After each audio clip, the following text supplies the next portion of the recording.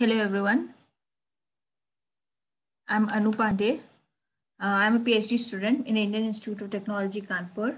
And the topic of my presentation is fieldwork via mobile interviewing during COVID-19 pandemic crisis, uh, crisis uh, a case study of Kannauji language. First of all, I will provide a roadmap of my presentation.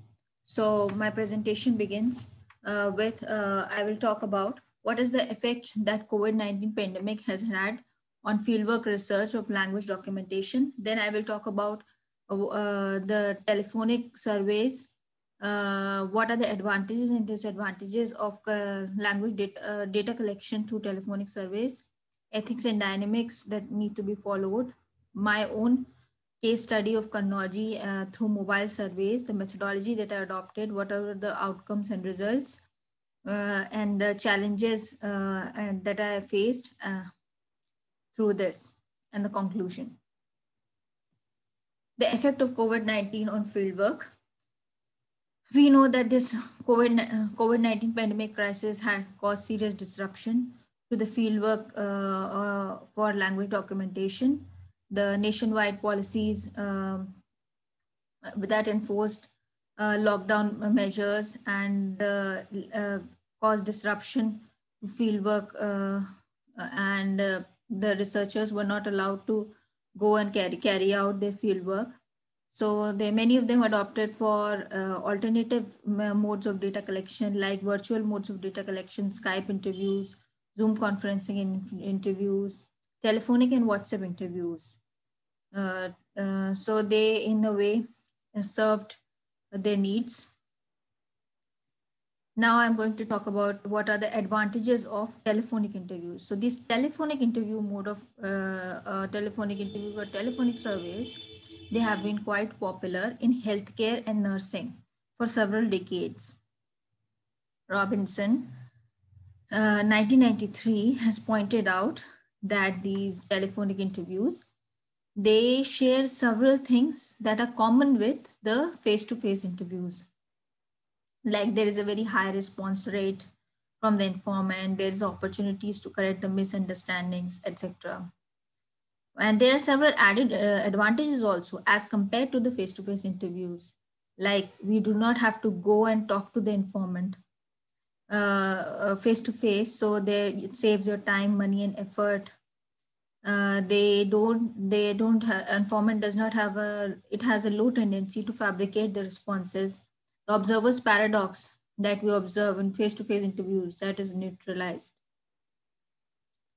Uh, now marcus and curie 1986 has also pointed out that in the case of telephonic interviews uh, there's also a feeling of higher sense of personal security and safety uh, among both the interviewer and the interviewee so this can be especially beneficial in the case of a situation like pandemic crisis where uh, both the parties are in a uh, need of uh, safety, uh, healthcare safety, and are in a vulnerable position. We can adopt this model of documentation or documentation. However, some, some disadvantages are also there uh, if we do telephonic surveys is that uh, generally these telephonic surveys they are go on for a longer duration 45 minutes to one hour so they may cause a situation of fatigue and boredom to both the parties especially if one of them is of an older age this has been pointed out by herzog and rogers worth and Tierney. there is a role of imbalance of power in telephonic interviews often which may cause a situation of anxiety in the interviewees. So um, this is generally because the interviewer might ask some over complex questions and uh, has to be kept in mind. Then, uh, but now we know that uh, telephones are being replaced by mobiles and mobiles are very common for, for long distance communication. But to have good communication through mobiles also, we know it, uh, we should have a good network connections. So when we propose any new model of language documentation, uh, the ethics is very important to be kept in mind. In UK, there is this concept of cold calling that has been recently been observed where uh, strangers have been calling extensively for commercial purposes and this has raised concerns uh, for commercial this has raised concerns uh, regarding the intuitiveness of the telephonic interview method uh, and it has been considered as an unethical way of infringing about someone's privacy so while designing my own uh, methodology for telephonic surveys for language documentation, uh, uh, I uh, kept this in mind. So in what, what, what I do, did is that I created some documents which were sent to the informants beforehand by WhatsApp or Gmail. These documents include informed consent sheet, details of the interview sheet, and sample of the interview questionnaire which will be elicited. These were sent to the informants by WhatsApp or Gmail in which detailed guidelines were given about the nature of the research. Uh, and after the uh, informants were uh, become became aware of uh, what the, was the nature of the research, how would uh, uh, they would participate in the research, and what would be expected of them, a pre-call was made to the informants, and then their consent and agreeableness was confirmed through uh, either through call or a WhatsApp. Dynamics of smooth mobile interviews. In order to this also, uh, in order to anticipate that a smooth interview goes on, some things have to be kept in mind. Since we have to carry out these interviews through mobiles, it is important that the mobile should be well charged before so that insufficient battery might not cause an embarrassment to the researcher and disrupt the interview. Each interview should start at the scheduled date and time and uh, the interviewer uh, should make the informant comfortable by icebreakers and greetings and can uh, establish a good rapport.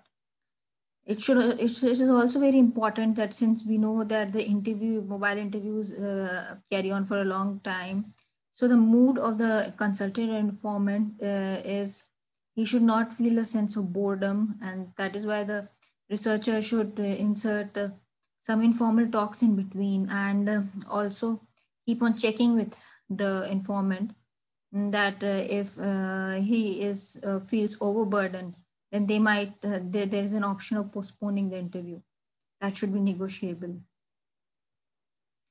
now since my mobile interviews mobile interview is on a case study of language Kannauji. I want to tell uh, some things about, I want to give an introduction of this language Kannauji. It's a dialect of Western Hindi, which is presently spoken about 9.5 million people, uh, but it's sparsely documented. It is basically spoken in districts of Kanpur, Farrukhabad, Etawah, Hardoi, Shahjahanpur, Pilibhit, and in this, these districts of Uttar Pradesh, as has been reported by ethnologue. 2018 and we can also see in this map uh, of Uttar, Uttar Pradesh, the maroon highlighted regions are the Kannauji speaking regions. The, my mobile interview fieldwork case study of Kannauji, the methodology or that I adopted for it. I will now highlight the steps of my methodology.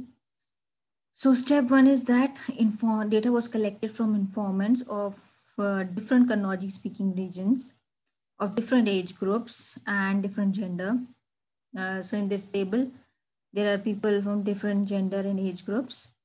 Data was collected from them. Uh, so first of all, the documents that are uh, mentioned informed consent sheet, details of interview sheet, and a sample questionnaire was sent to them. After that, they when they are uh, they read uh, they read and they are uh, aware of the gui guidelines on all, all about the research. They, if they have any queries regarding the mode of the research, that, that that was resolved through call or WhatsApp.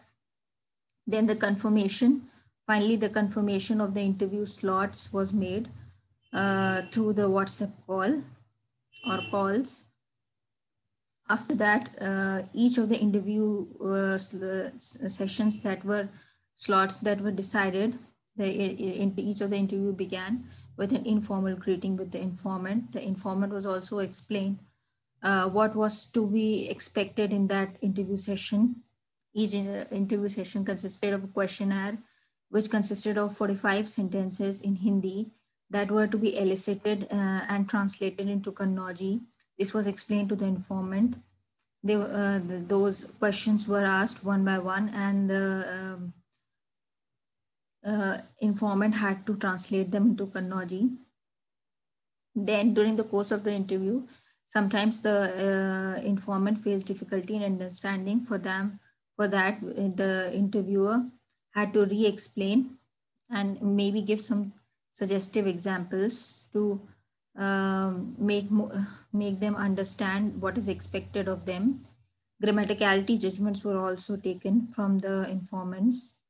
At the end of the interview session, a token of thanks was uh, expressed and uh, gifts were always given to each of the informant. Either the gifts was given directly by the researcher or through some common mediator who knew both of them. The gifts were uh, sent to their address. Now these are the document docs files of which are sent through WhatsApp. This was the informed consent. Uh, the informed consent, uh, so I have highlighted the major points which uh, was uh, to be explained that the research would be, should be carried out through mobile interviews. A compensation through money or gifts would be given.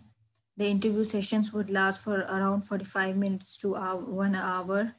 And uh, the researcher uh, informant voluntarily agrees to it and can anyway any at any time uh, at any time declined to participate in the study.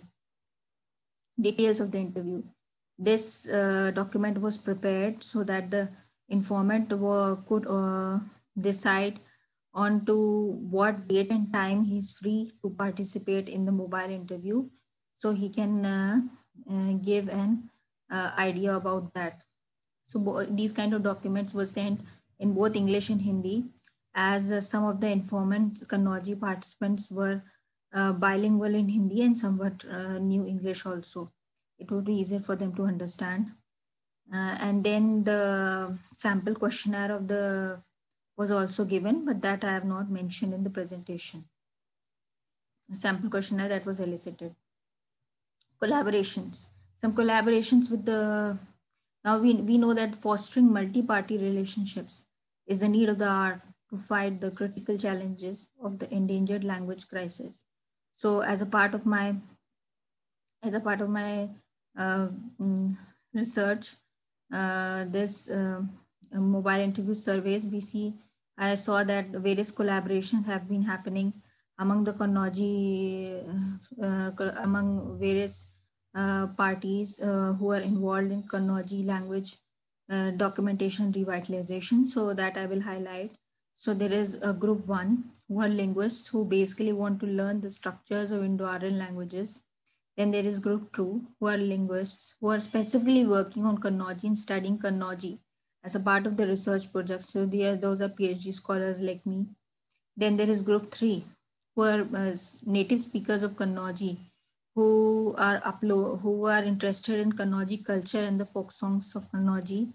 They upload their videos or of folk songs, and about the culture of Kannauji on social media and YouTube. Then there are group four, who are native speakers of Kannauji, who are interested in helping the linguists and the other governmental and non-governmental organizations with Kannauji language documentation work, podcast and revitalization. Now the focus of the research and interrogatives in uh, now focus of my research is, base, is basically was interrogatives in Kannauji. So in order to collect the interrogatives or questions in Kannauji, uh, what I did is that I created scripted conversations uh, which involve question answers uh, in Hindi. Since uh, Kannauji speakers were bilingual in Hindi and these were given to the Kannauji speakers, after that the Kannauji speakers were asked to make, uh, make recordings of uh, such conversations uh, of interrogatives in Kannauji. After that, these recordings were converted into podcast by using podcast making applications like Anchor. So in this way, uh, these podcast making applications were distributed and uh, over uh, over in web.